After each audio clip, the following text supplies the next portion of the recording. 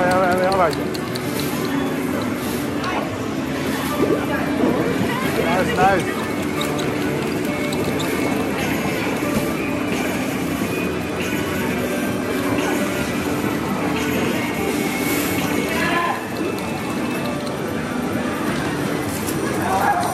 Nossa, ele é